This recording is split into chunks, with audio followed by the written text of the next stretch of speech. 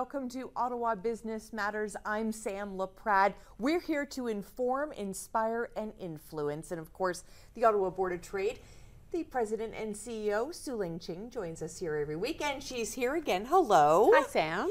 I feel like I just spent so much time with you because, mm-hmm. of course, the big breakfast, mm-hmm. the mayor's breakfast, mm-hmm. was a very big deal last week. Mm-hmm. Well, I'm happy to spend lots of time with you. And uh, yes, we were so pleased to be able to co host the mayor's breakfast. Uh, of course, with the mayor's office and the uh, Ottawa Business Journal, and to host as our keynote speaker uh, Premier Doug Ford.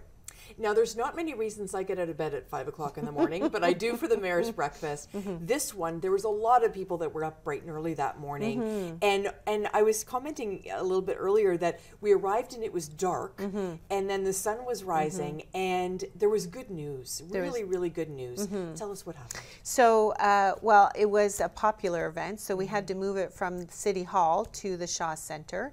And uh, so over 600 business and community leaders came out uh, to see the premier and and you and I and the mayor. yeah. And but we were really pleased because the premier did bring good news uh, of a new deal for Ottawa. So the Queen's Park has, and the government of Ontario has committed over $543 million in both operating and capital costs to support Ottawa's uh, development as an economic hub in Ontario, in Eastern Ontario.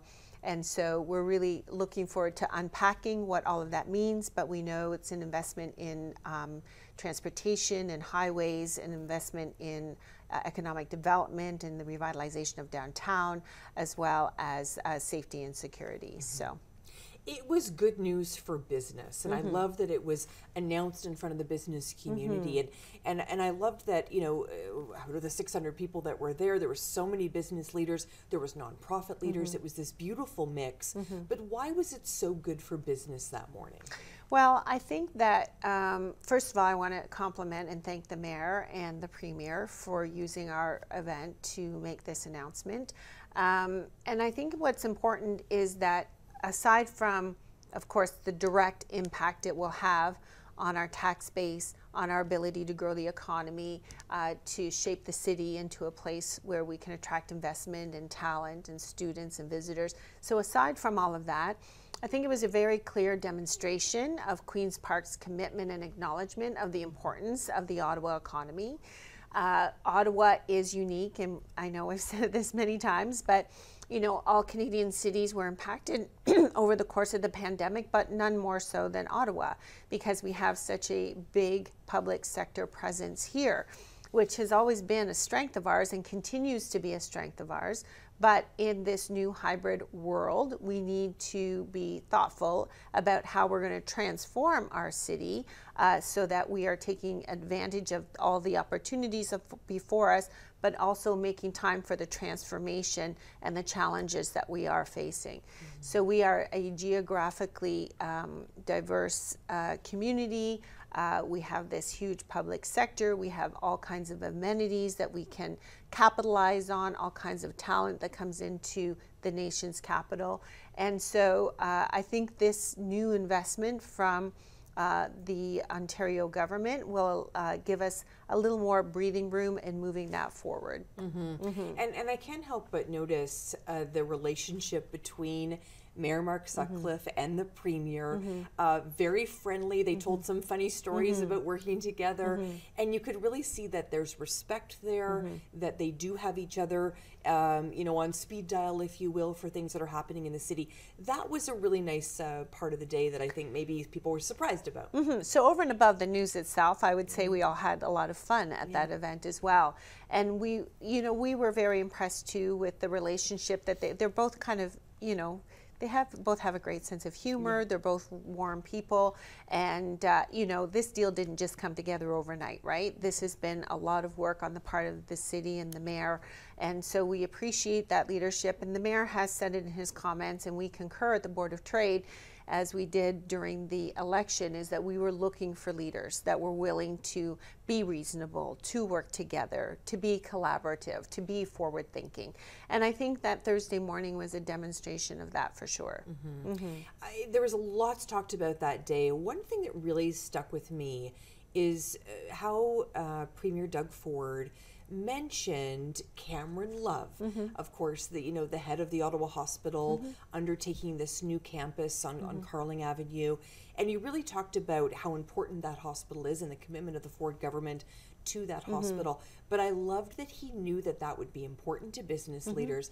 Business leaders want to attract talent to this city for the, you know, we call it, talk about it all the time, mm-hmm. work, play, and, and, and live. That this city is going to have that kind of healthcare infrastructure that we require.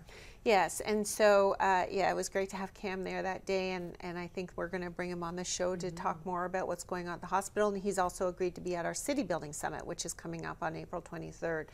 And I think that's just one example of um, the innovation that we see in Ottawa and how the hospital will be a world class health care and research facility.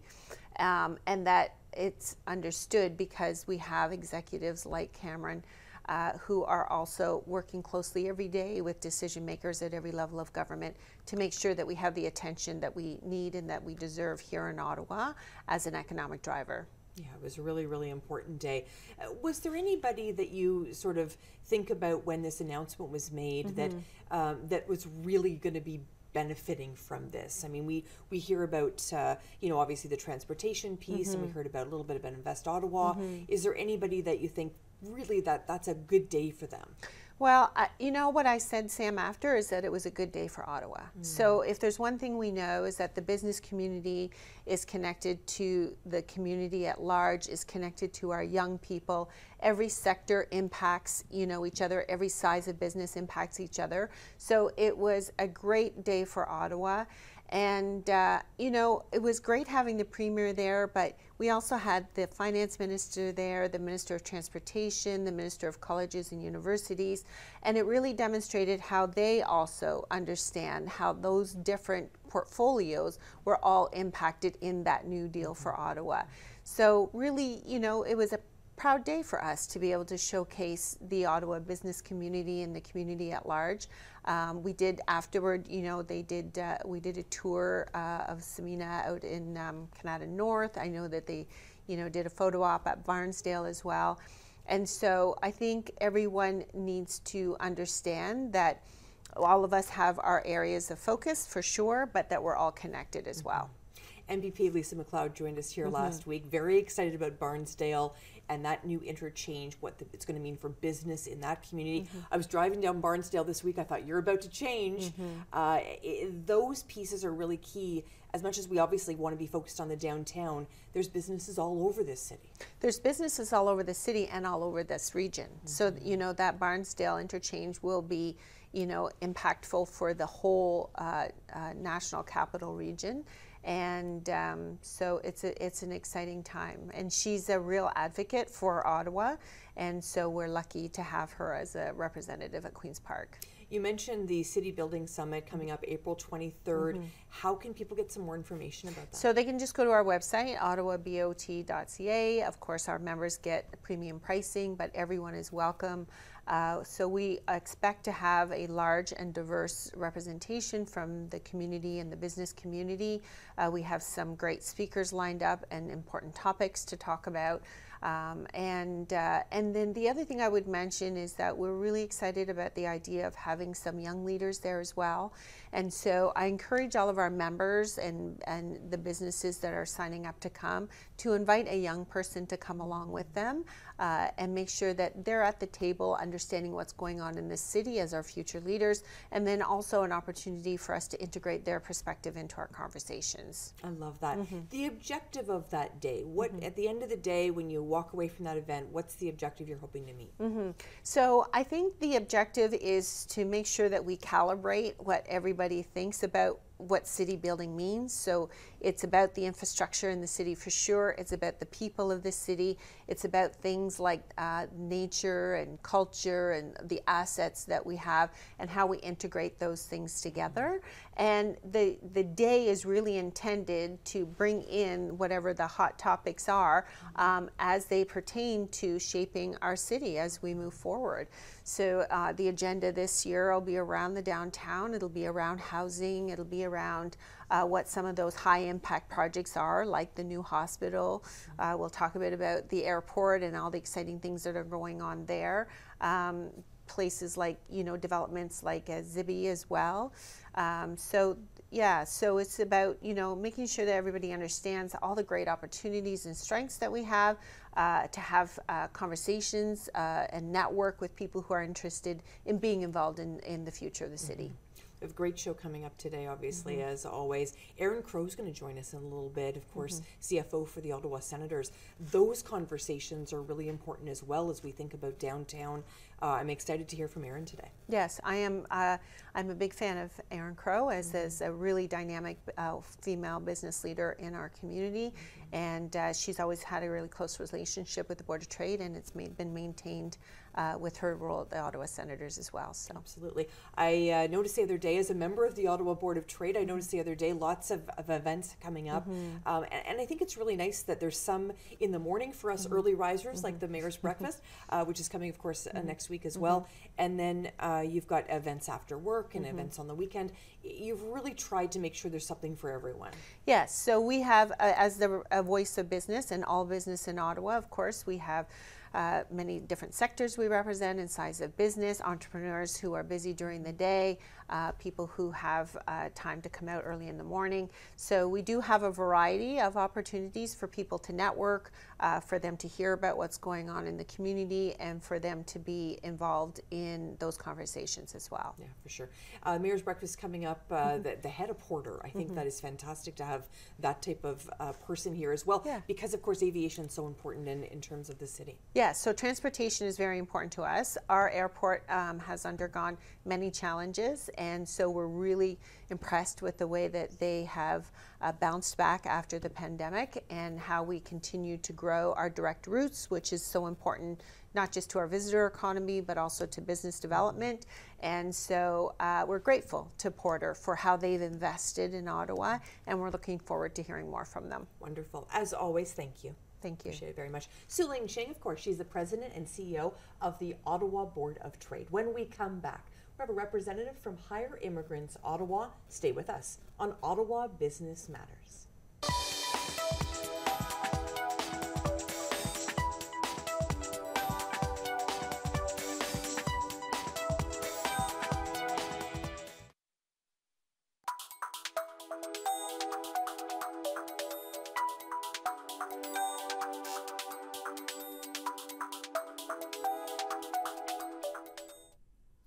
Talk about such an important subject today, and I'm so excited to welcome to the show Henry Akanko, and he is with Hire Immigrants Ottawa. Hello. How are you? I'm doing very well, Sam, and yourself? I'm so excited to have you here. Thanks so much for being here. Well, pleasure to be here. When I think about Ottawa and the growth of Ottawa, we need lots of people to help us grow this city. And, and you're at the heart of this. First of all, tell us a little bit about, about Hire Immigrants Ottawa. Uh, so Hire Immigrants is a community-wide initiative of United Way East Ontario. And the work we do is to engage employers around immigrants' employment, looking at the demand side, um, the barriers and challenges employers have to effectively attract, hire, and integrate immigrants into the workforce. And this fits in with United Way's um, a focus area of uh, from uh, poverty to possibility, and this recognizes the importance of uh, financial independence as um, a strategy to address uh, poverty. And so this is part of the work we do around community wealth building. It's incredible. And when I think about somebody arriving to Canada, and maybe they're arriving this time of year and they've missed the snow, um, but arriving to Canada and and really not knowing anybody, not having any connections, it would be quite daunting for a family to do that, and then to think about, you know, if they've got children, they're thinking about schooling and, and where to live, and and then of course the work piece and many people come to this country and they have incredible skills. How are we making sure there's a good match there for, for the work that we hope they do? Um, th these are very important uh, points you raise in terms of the, the journey one goes through to uh, settle in a new country. And uh, employment is a significant part of it. Uh, most of the other pieces in terms of the settlement, um, we have a lot of initiatives on the ground to support people settle. But one of the pieces that has been missing for a very long time was who was asking a question from the employer side. Uh, what can we support employers to do more of to help shorten the integration time uh, for individuals so they can um, get into work and meaningfully contribute to our society. So this is where our work comes in. Uh, we're the only initiative of its kind um, in, in this region that focus exclusively on supporting employers to make sure that they are doing their bit and they have what it takes to uh, support the integration of uh, individuals. The good news is Ottawa continues to be a destination of choice for many uh, immigrants. Um, we are seeing our numbers grow. We are currently uh, looking at about uh, 2,000 permanent residents who are arriving in our city uh, on a monthly basis. We welcomed um, 21,300 new permanent residents uh, last year alone. And so that tells you that um, we're doing something right in terms of our profile around the world to attract people. But once people get here, it's important we make sure that they feel at home, they feel welcome, and they want to um, set roots here because uh, we don't want secondary migration happening when people are moving off to other places. But the work around um, integration is, is a process employers have a role to play in supporting their employees. They need to find the talent. They need to know where to look. And they need to also look at their HR policies and practices to make sure that the systems they had in place that worked very well for them 10 years ago are recalibrated such that they're working for them. We talk about inclusive economy. We want to make sure that everybody who has the ability to contribute is given an equal opportunity to be able to contribute. Um, but all too often, we see a lot of barriers come in the way of uh, immigrants trying to get into the labor force.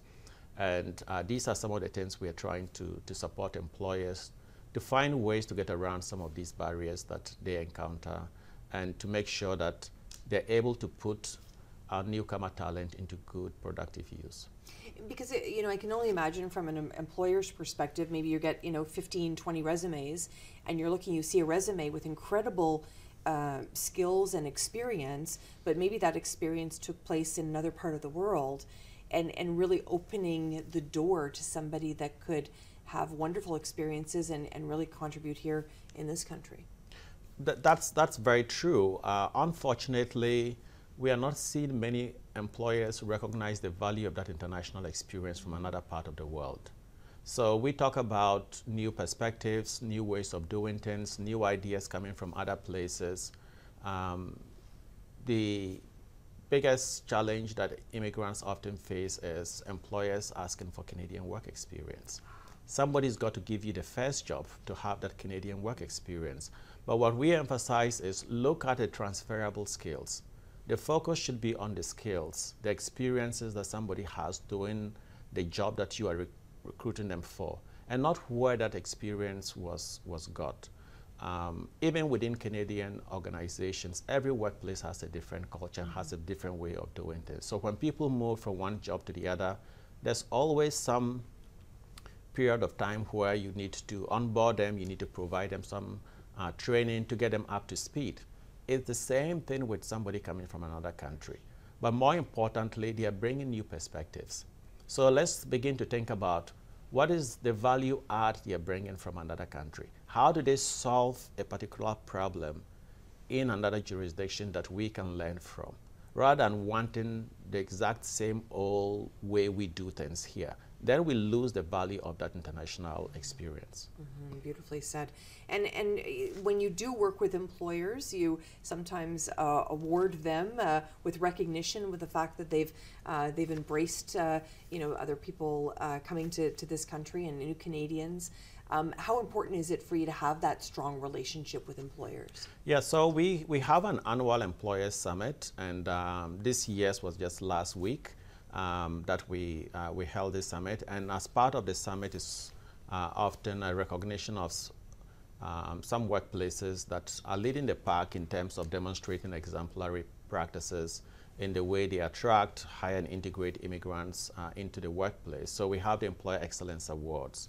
And the value of this is uh, to do two things for us. One is um, to highlight the work that is being done so that for those who are not convinced that uh, there's a lot of um, value to uh, doing this work and doing it well, um, to learn from others uh, doing this, but also to encourage those who are already doing this work uh, to continue to do it because um, there's a lot of um, value to having a diverse workforce. And so we, we know through um, the Ottawa Business Growth Survey that the Boards of Trade uh, carries out every year with Abacus data, employers highlight, you know, access to skilled workforce as one of the top three challenges that they have. But we also know through that same survey, uh, because the Board of Trade has been uh, our partner and they've um, um, understood the importance of immigration as a source of talent. And so they've added a few questions to engage their members' perceptions of immigration as a source of talent and for their own businesses. We do see the numbers are high local business see immigration as an important source of talent. But when we begin to probe further with those questions about whether they see this as uh, a source of talent for their own businesses, we begin to see the numbers go down. Where people, uh, businesses have hired an immigrant before, we see the numbers go up because they see the value, they see the work ethic, they see the innovation they bring, the different uh, perspectives, they value having that uh, diverse workforce. And so we see the numbers go up. So it's important that that story is told uh, so that other uh, businesses can learn from those who are already uh, doing this work. And also, those best practices, people don't need to reinvent the wheel. If others have done it, it's documented, you can learn from that, run with it. So we are happy to disseminate some of this um, information, and we usually uh, use our summit as um, a platform to be able to uh, recognize um, employee excellence. Brilliant. I love that. There's so much in that what you just said. I love that so much. And when you think about Ottawa, we obviously think about high tech, we think about the government piece, we think about healthcare, we think about retail, we think about, you know, strong private sector. Uh, there's room for everybody here, right, uh, Henry? There is. Um, you know, we often describe the Ottawa economy from a labor market point of view as a knowledge-based economy because of the types of jobs we have here. You know, as you described, the high tech, the government, you know, we have uh, big, uh, world-class um, hospitals.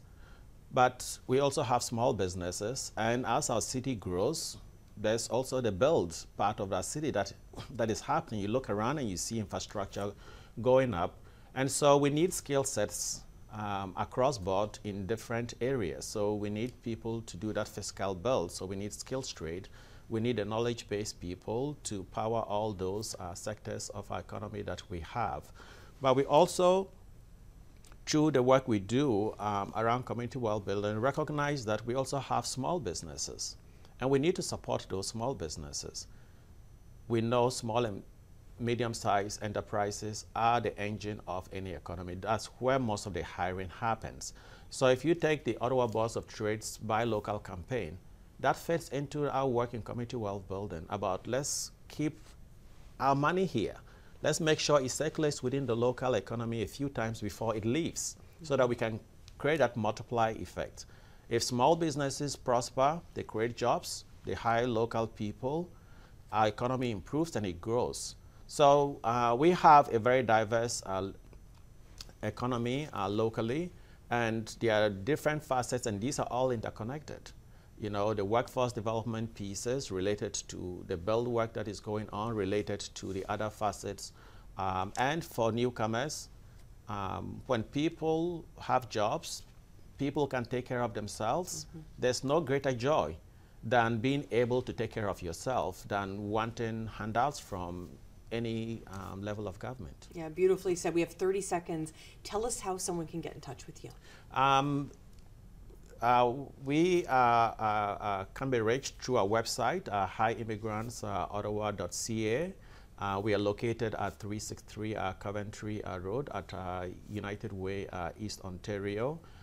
through the Ottawa Boards of Trades as well, they are a great partner. Um, they collaborate with us on a number of initiatives. So if you're a member of the Board of Trades, you can connect us uh, uh, through uh, that.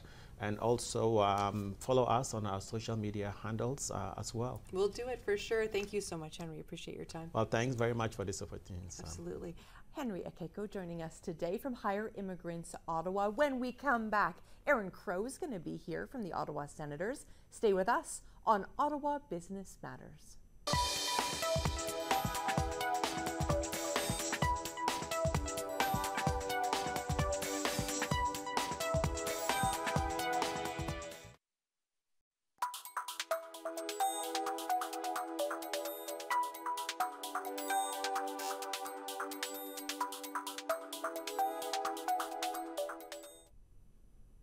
I'm so excited to introduce you to the one and only Erin Crowe from the Ottawa Senators. She's the COO.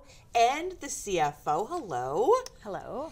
Those are big titles. I'm not going to. I'm not going to even uh, sugarcoat it. That's a lot of work you've got going uh, with that great hockey team. Yes, it's uh, it's actually a super fun role. I have to say, um, there's always something going on, and uh, and some days I feel like a jack of all trades and a master of none, and other days I, I feel the opposite. So yeah, that's great. Yeah. Do you get a chance to actually watch any games, Erin? I do. Yes. I do. I'm a fan for yeah, sure. For yeah. sure. Now, listen, we were together uh, a couple of weeks ago to the most beautiful gala in the city. The uh, the Ottawa Senators uh, Community Foundation put on a stunning gala on the ice. I kept forgetting we were on the ice because yes. it was so beautiful. But that night was not only great food and a great celebration; it was so much more than that. Oh, absolutely. I mean, I think um, you know Jacqueline Belsito and the Senators Community Foundation have done an amazing job, really bringing this foundation back to life over the last couple of years. Um, the gala was really, I'd say, a culmination of all the work that's been done um, in that time. And I'm really thrilled with the fact that we raised over $650,000, that there were two donations made to uh, Roger Neilson House and Maison Papillon in Gatineau a million dollars each, which is incredible for this city, right, and really meaningful. Really meaningful, yeah. and uh, and of course, um, Michael Andlauer, the the principal owner, uh, spoke beautifully about about coming to Ottawa. They've really both him and his wife. I, I really sense every time I hear them speak, just have really embraced the city, and we needed that, Erin. Absolutely, and uh, you know they're here in the city a lot. They've bought a house here. Um, they're really passionate about Ottawa and about this team and about this team's success in Ottawa, right? And they understand, I think, what the senators mean to the city, um, and they are really embracing that, right? And really do, trying to do what's always right for our fans and for the city. And I think that's an amazing uh, way to think about new ownership and, and for them to come in and really get ingrained in this community. Yeah, what a, what a fantastic night. And, and, you know, I can't help but think, too, when we think about business, we think about the potential of that of that arena heading downtown and what that will do for business downtown. You live and breathe and sleep this project. I know this. Uh, tell me a little bit about about what it would mean to you to sort of make that change.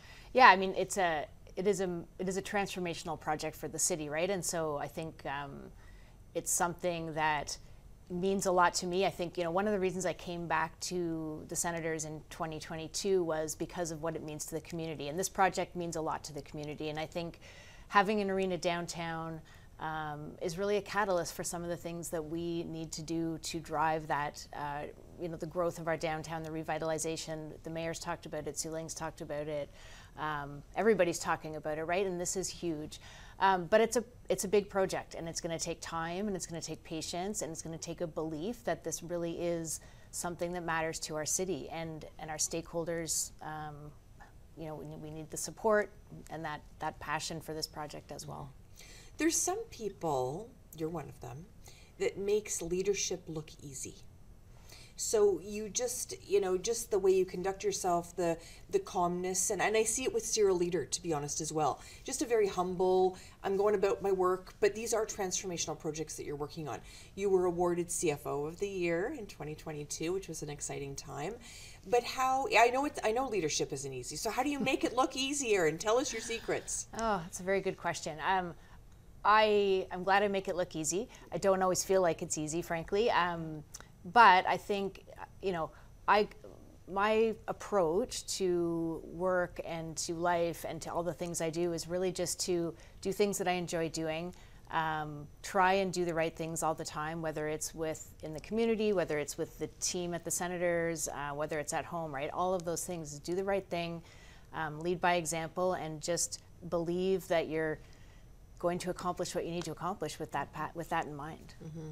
And and being a woman in this, I'm I'm hoping there's some day where we don't even have to say that, but being a woman in a C-suite that typically is men in sports, there's some barriers there. Have you? How, do you feel like you broke through, or do you think you you you, you worked your way through them? How, how and, and is it still a, a challenge, or is it a challenge at all? Yeah, I mean, so it's interesting question. Some days I absolutely feel like I've broken through, and other days I think, wow, nope, haven't haven't broken through, right? So um, I think early in my career, I just I didn't pay any attention to that. I kind of worked, worked, worked, and uh, I think was able to, you know, just not just focus on my on getting my job done and using that as sort of my ability to to grow.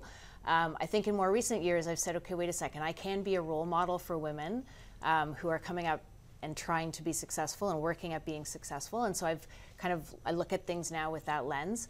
Um, and I think when I look at things with that lens, I still see that there are barriers, right? And I see that there are um, perhaps times where the perception is that you don't have that senior role, or you you know. But then there's also times where I think you can demonstrate that you have the knowledge, the capacity, the leadership skills to be in that senior role, and people accept you there. So it's it's all over the map. But I, I'd say we just have to keep pushing forward and keep believing that um, as we continue to support women in leadership roles, that that growth will continue to come.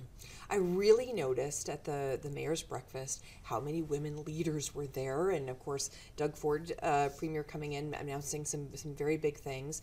But I do notice um, a lot of a lot of senior leadership. You have served um, on the Ottawa Board of Trade. You're still involved with them. How important is it that that women are at those tables? Oh, I think it's really important that women are at those tables, right? You've got to see those women in leadership positions. You've got to see those women influencing decisions that are made. Um, we always talk about diversity at, around the table, right, and how much benefit that brings. So I think that's also important. Um, I sit on a couple of other boards as well, the Bruyère uh, Health Board, and I sit on the Senators Community Foundation Board. And again, you know, diversity is something that we always have to be aware of um, because there are so many benefits it brings. Um, So, walk me through the day in the life of Erin Crowe. So, you know, because I can only imagine. I mean, there's big decisions. I was thinking about you when the team ownership thing was happening. I thought, is Erin getting any sleep? Um, No. it- exactly. They will answer that. No, there wasn't any sleep. But even now, like managing this project, because there's a lot of demands. A lot of people are looking to say, when is this happening, and how is the decision being made?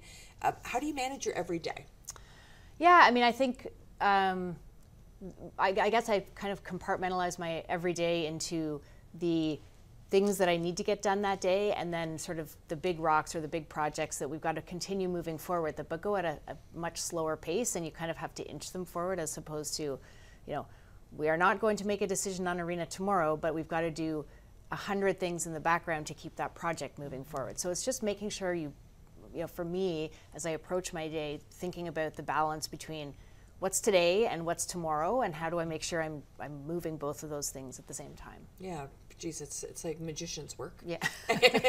um, and the Ottawa Board of Trade, and I know you've obviously been close to them, but but I would think because I, I find every time somebody asks about the arena, then you also see, see Sueling give Yeah. a comment because you know she is uh, representing the voice of business. So I, I see often you know that that sort of uh, dichotomy there where where business is going to be affected. How key is it for you to be close to the Ottawa Board of Trade and and hear from the members as well? Oh, I think it's really important, right? I mean, when we talk about an arena, it has an impact on everybody in the city, right? Wh- wherever you're from in this city, um, whether it's Ottawa, whether it's Gatineau, whether it's East, West, it doesn't matter, right? That would be a transformational project. And so staying close with the Board of Trade and their initiatives that they have around city building, downtown revitalization, I think um, they all tie in so tightly. Um, Sueling and I see each other regularly, I would say, at different events, and also I sit on the Economic Development Committee at the Board of Trade. So, um, certainly, uh, always being aware of what's happening and making sure that we're aligned as we think about the bigger projects in the city is important. Mm-hmm.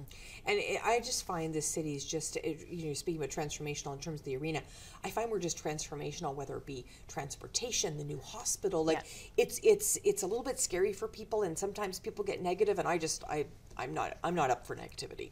So I'm I'm very much like this is a positive time. This is an exciting time, and then adding the arena into that mix, it just it adds even more excitement. Yeah, I mean, there's so much going on in the city that is positive, right to your point. The LRT is a transformational project. The hospital is a transformational project.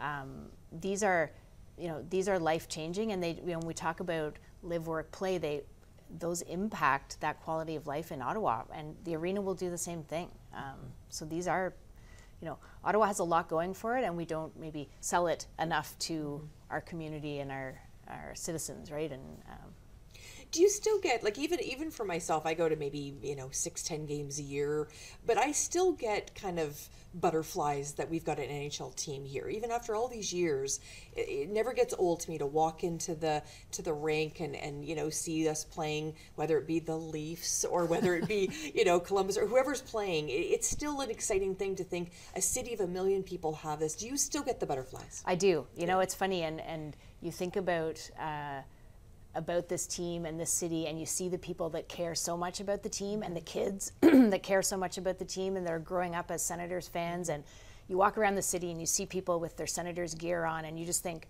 wow people care right? And this means a lot to the city and uh, we mean a lot to the city. So um, and we've got an owner who is passionate about that too as we talked about. So i think that's all just you know it really it does make you emotional when you start to think about it Mm-hmm.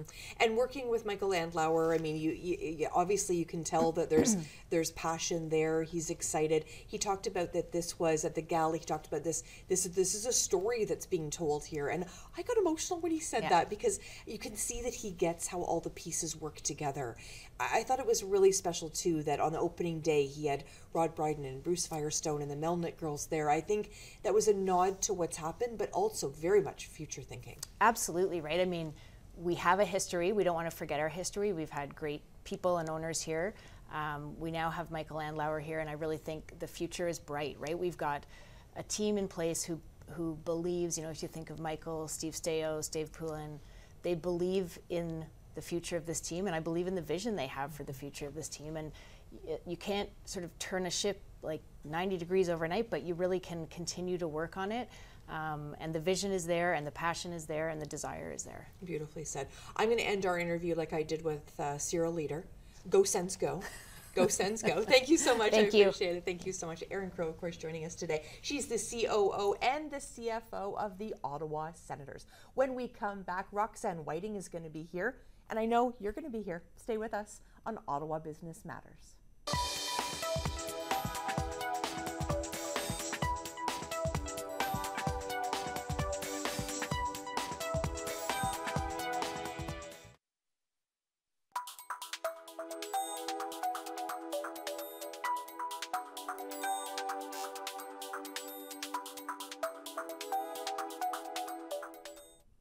I am so glad you are back on Ottawa Business Matters. I'm Sam Laprade. I wanted to introduce you to a lady I'm getting to know today too, and that is Roxanne Whiting. Hi. How are you? I'm well, thanks. It's great to be here with you and talk about Asign. You are the co-founder and also uh, with business development. So tell me a little bit about your role uh, at this wonderful organization. Sure. So I'm not one of the founders. I'm one of the co-owners. co-owners. There's Perfect. two other women um, that uh, I share the pleasure of owning Asign, and um, we've been around since 1997. Uh, so celebrating 27 years in June. That's fantastic. So tell us what you do. So my role is Director of Business Development. Uh, I'm also a practicing uh, American Sign Language interpreter, and I've been doing that for the last 26 years. Um, my role now is communicating, reaching out, networking, letting people know about our services, mm-hmm. and um, also you know, trying to bring more business um, into the company uh, as well. But which yeah. is great. Yeah. So, so tell me how you got involved. What, where, where did it all start for you? Well, both of my parents are deaf, so my first language is American Sign Language, and then I learned English pretty much simultaneously because my grandmother used to watch me when I was a baby, so I was bilingual from birth, ASL and English. And then um, you know, in high school, you start thinking about career options, and I had no idea what I wanted to do. My mother always said, You should be an interpreter. She worked for the federal government. She had interpreters that worked with her often. And I always, you know, no, mom, I don't, you know, I don't want that. Um, so I kind of took a gap year and was working uh, some retail jobs. And one of my um, teachers from middle school actually had come into one of the stores I was working, and she said, Roxanne, why are you working here? And I said, income? and she said, but you know sign language, and we, you know, the federal government pays well, and it's a viable career option. So it got me thinking about that, and so fairly quickly after I did my research, and off I went and uh, studied to become an interpreter. I love those turning points in people's lives. And it's amazing how a minute can change your whole life. Absolutely. Yeah, it's amazing. Yeah. Would you do anything else? No, looking back, it, it's the right fit for me, yeah. um, especially, you know, being a child of deaf adults. Um, I didn't really understand that distinction until later, like as an adult, and then interacting more with the deaf community outside of my parents' bubble, so to speak. So interacting with other deaf people and professionals and just really understanding that it's a culture and a community and that I had a place in it as part of that culture. And then understanding that I have a privilege being able to hear and kind of merging those two worlds together. So able to advocate for my peers and those that I know in the deaf community, but also being able to hear and enjoy things and understand things a little bit differently than than the deaf community. So who are the clients of Asign? Who's who's working with Asign? So when we first uh, were established, um, our primary work was based here in Ottawa with the federal government, um, the Ministry Attorney General, so the Ottawa Courthouse. Then it started growing to unions contacting us for large conferences, and so that's kind of what we specialized in. There are other organizations that provide and get funding from the Ministry of Health to do medical appointments, and that's not our main source of income or specialization. We really focus on um, business type of interpreting, conference level. Uh, we're across Canada now. Lots of things changed um, with disability legislation, mm-hmm. but also with technology. So in 2014, the CRTC approved video relay service, which is a telecommunication service for the deaf, which re didn't replace, but was an upgrade from the old Bell relay service using a TTY, going through an operator third party. So now the third party still happens, but it's visual over video with the sign language interpreter. So deaf Canadians are able to make telephone calls, to make an appointment, order a pizza, call work, and so we were awarded a contract um, through the Canadian Administrator of Video Relay Services in 2016, and that changed our business overnight because, as I said, from 1997 up until 2016, our focus was only Ottawa. We did we would be asked to go to other cities across Canada if there was a need, but once we started doing that, we needed more interpreters. So within a period of th three years, I set up, along with my team, three call centers, one each year um, in Edmonton, Halifax, and then Toronto, and then COVID came around. Mm. And prior to COVID, we were already venturing into video remote interpreting, which is everything other than a telephone call over video. So the CRTC has said that, you know, placing calls, you can't be in the same room and use the interpreter because the funding is meant for telephone communication access. So having so a deaf person couldn't show up at the car dealer, for example, and call video relay service to negotiate a deal on a car they want to purchase because of the funding parameters set out by the government. So video remote interpreting is something that it's fee for service, but you can use the interpreter um, in different places. So that's one of the services we're offering on demand. We're at all Service Canada 344 locations, so deaf people don't have to make an appointment and wait two weeks for an interpreter to be available to apply for employment insurance, renew their passport. They simply walk in, connect with our interpreter, and um, go about their business. So we've been doing that now for the last couple of years, and we have other clients too, but so technology, anyway, there's lots. I've learned so much. I had no mm. idea. I think the average resident would have no clue. Probably not. Yeah. No, no unless you actually have firsthand experience or exposure um, to not being able to communicate with somebody, mm-hmm. then you don't know. right? So part of my goal, my team's goal, is to educate and let the community know that there are services available, tools, um, interpreters, translation, which again, when we think about translation, we think about text based content, word for word, English to French or other languages. In the deaf community and to provide access, their first languages are ASL, which is American Sign Language, or LSQ, the Langue des Signes Québécois. So there's not one sign language across the world for every spoken language, there's a signed language. So our translation takes text based content and we interpret it, translate it into a video format that can be used on websites, social media posts, um, training doc, you know, training materials and so on. So, and that's also in addition to bringing an interpreter live on site, which we do as well. Wow. And and is it hard to find the talent to be interpreters? I would, you know, that would be quite a quite a skill set.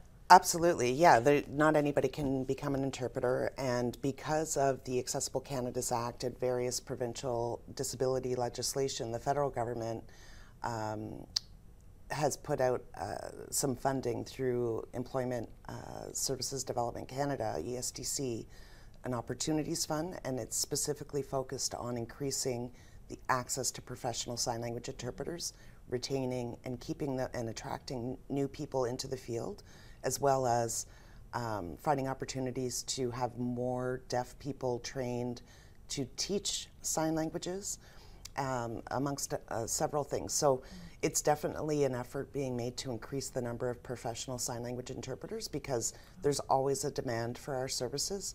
We used to joke many years ago, I'd say 20 years ago, summer, yeah, we could probably get a break, and Christmas time. It's we don't have those breaks anymore. Mm-hmm. It's very rare. And I think often, and, and I'm even doing it when you were mentioning COVID, we think about interpretation when it comes to emergencies. You know, we always saw the premier with an interpreter. We saw Correct. the prime minister with an interpreter, uh, the mayor. You know, that type of thing. But but this is 365. I mean, this is not just in emergencies. Uh, absolutely, mm-hmm. and I think I think it's going to take time, but interpreters should be part of everyday communication. So there should be an interpreter on this show. You know, mm-hmm. other shows, uh, mm-hmm. closed captioning is available, but what people don't realize is that English or French and other written languages is not the first language of deaf people. Mm-hmm. So their understanding is not going to be complete or comprehensive. So that's where having an interpreter or having the content translated is very important and it's critical for people to understand and consume the information because if they're reading it, there's going to be misunderstandings. So, if an entrepreneur is listening right now, a political representative, uh, anybody in our community, what advice would you have to you know for them if they're maybe having an event or they're wanting to engage uh, the deaf community how would you what advice would you give them today? Well as a first step um, of course you can reach us at Asign and depending on your event or some of the objectives that you're trying to achieve we can give you several different options. Um, but communication and outreach to the deaf community community through social media is critical. Deaf people are on social media. Um, there used to be deaf clubs across the country, but with with time, technology, things have changed, and COVID, lots of those deaf centers are not there anymore. So it's become more online communication. So in order to reach the deaf community, let them know that you're accessible is critical because if you don't let them know, they won't come. Mm-hmm. So it's not a matter of just um, putting out your event and saying once, oh, we have interpreters, like you really need to make an effort to communicate that externally. Yeah, brilliant. Uh, I can see why the Ottawa Board of Trade would be important to you because you're yes. working with, with all the stakeholders we just talked about. Talk about the, the relationship with the Ottawa Board of Trade. Yeah, so it's new for us. Mm-hmm. Um, I mean, we've been in Ottawa, like I said, for 27 years, but uh, over time we've evolved, we've grown, and it was time. Like we last year, we made the decision to to join the Ottawa Board of Trade and really get out there and, and make sure that people were aware of who we are, what services that um, we offer, and just really making sure that access is possible. So opening more doors to possibilities for not only people in Ottawa but across Canada to have access to interpretation and communication because that's really what it is. You're really this lifeline, this life link for people. It's really just kind of hitting me now as we talk how Yeah. important it is. Well, if you think about it, deaf people, uh, they're able bodied people. They communicate in their own ways without interpreters, of course. Like, they don't need us for every single moment of their life, but there are critical parts in someone's life where you need an interpreter to communicate. So, uh, you know, we kind of say A to Z or, uh, you know, from cradle to grave. I don't even like to say that, but you know, there's there's so many things that um, so we're everywhere. We interpret everything and anything, um, from being in the courtroom to a kayaking course, or maybe I'm, you know, so you could be really anywhere. Yeah. Really interesting line of work, too. I've learned so much today. I love Yeah. this. Oh, good. Uh, where can we find you? So asign.ca is our website. You'll find our contact information there. Um, you'll see some examples of what I mean by translating text-based content into sign language because we have an avatar. It's well, it's we call it the floating translator, but it is a live interpreter that we've recorded that's translating the content on our website. So as you scroll on the website, you're the deaf community can get that live translation, and we have a English French toggle button on their website, so you can see it in LSQ too. But Amazing. certainly, yeah, asign.ca. There's a contact us form, and Perfect. We'd well, happy thank to you chat. so much. Thank you. Roxanne uh, Whiting joining us today, and she is the co-owner of Asign, also business development. It's been great spending time with you today on Ottawa Business Matters. I'm Sam LaPrade. Until next time.